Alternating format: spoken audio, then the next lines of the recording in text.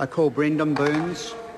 Mr Speaker, I swear that if I hear the phrase the blue-green agenda, I'm going to gag. Uh, I, I know that we've seen through the passage of this bill clear evidence that the blue-green agenda can be consigned to the waste paper bin. And uh, if you didn't believe it in respect of the environmental protection uh, bill, then you only need to look at the national policy statement on fresh water, which most of the environmental groups which were a party to the Land and Water Forum are already condemning.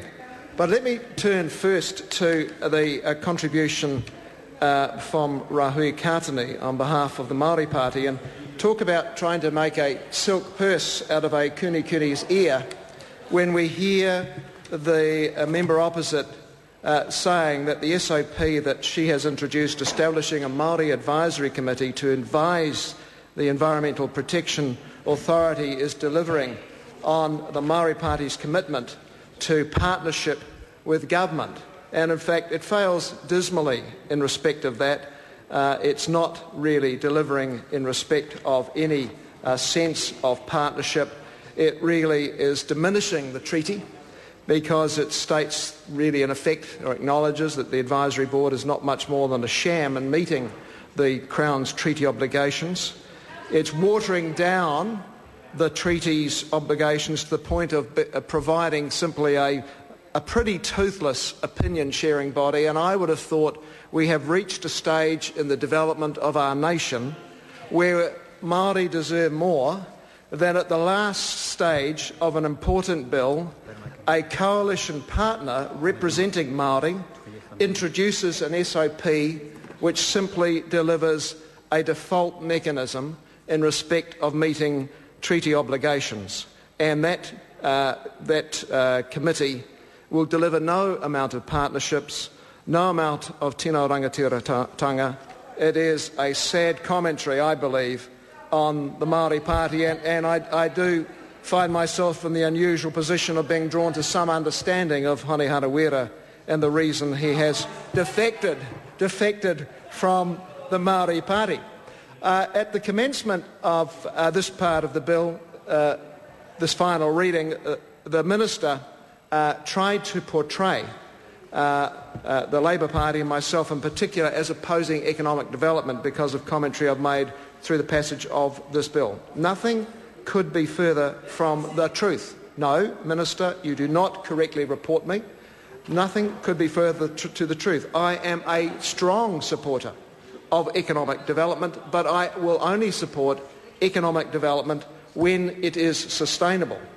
And that is not what is being provided for by this bill. It doesn't even include any reference in its, in its uh, principal clauses to sustainability, and the principles and objectives don't include, include real reference back to uh, having environmental objectives. And I, I put on uh, uh, to the record of this House my record of having been instrumental in forming Marlborough's Economic Development Trust. I put on the record of this House having established a, a vineyard which contributes to the export economy of this country. And I take a deep offence at the Minister suggesting that I am opposed to economic development. What I am absolutely committed to is sustainable economic development. And I'll say to this Minister, in respect of my province of Canterbury, I am committed to seeing the greening of the plains, but I will not tolerate any more browning of the waters.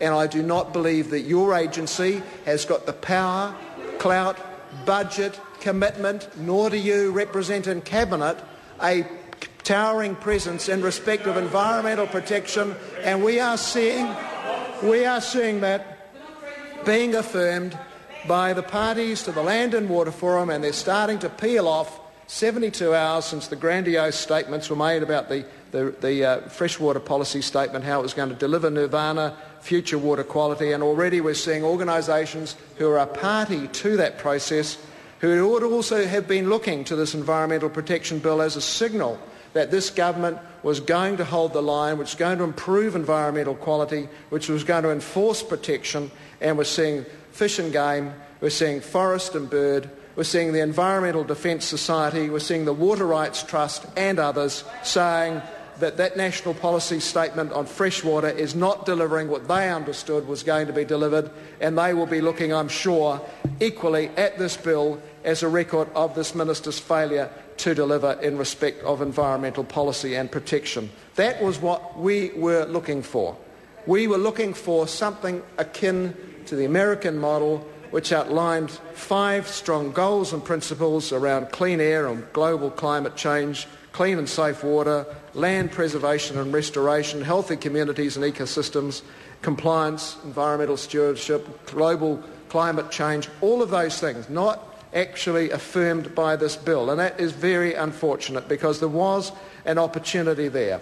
I wanted to take up and just, uh, uh, just uh, say to the Minister, he made strong comments back to my colleague Louisa Wall in respect of her uh, questioning to him around clause 82 of the bill and whether he has any veto rights in respect of matters that are called in under the clauses of national significance. And just note to him that under uh, clause 7, uh, subclause 7 of that part 80, of clause 82, it reads, to avoid doubt, the Minister may make a direction under subsection 2 that differs from the direction recommended by the EPA under section 144A. So if uh, we still have a, a, another speaker from the government, I'd like some affirmation as to whether or not that provides a mechanism for veto in respect of uh, the Minister's role with call-ins under the uh, uh events of national significance provided for under this bill.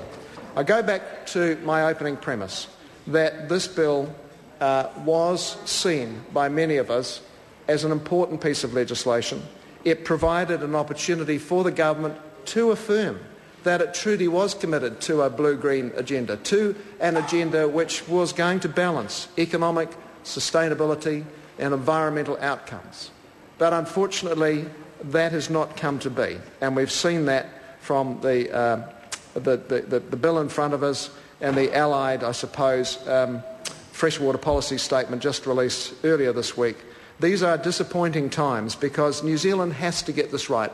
We only need to look at the BBC Hard Talk program of uh, uh, earlier this week where a eminent journalist grilled the Prime Minister about New Zealand's environmental record. Not the first time. Two years ago it was The Guardian claiming that we were doing greenwash, that we had uh, made the claims many times of being a clean and green nation, 100% pure, and the facts were not there. Two years back, two years back. And, the, and, and the, the real risks around this are actually there for the farming community. And I say that to, to members opposite from a farming background, such as Colin King, the MP for Kaikoura, and those who represent other rural seats. Those who will pay the price for the failure of the EPA to really grapple the issues of environmental protection in the final analysis will be our farmers because the rest of the world's farmers are looking at New Zealand.